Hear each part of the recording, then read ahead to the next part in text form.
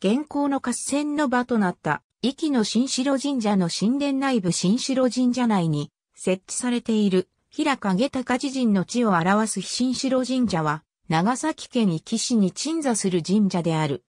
平影高子を主催神とする。1274年10月14日、元軍、高麗連合軍は、津島に続き、壱岐島の西側に上陸。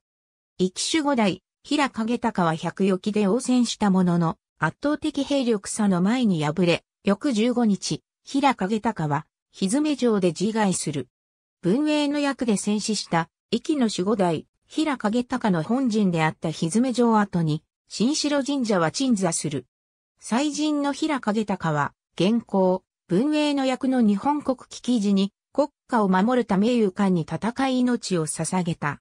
祭神は国難事変に際して真意を表し、平時によっては国家の平和を守りたまう神々である。壱岐島民は文永11年以来、新城神社ご創建の願い、明治19年本殿の建設を実現した。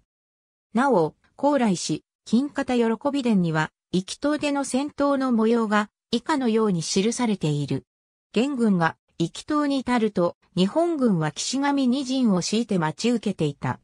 高麗軍の将である僕の助及び金方喜びの娘婿の長弁はこれを蹴散らすと、敗走する日本兵を追った。壱岐島の日本軍は降伏を願い出たが、日本兵を千余り討ち取った。ありがとうございます。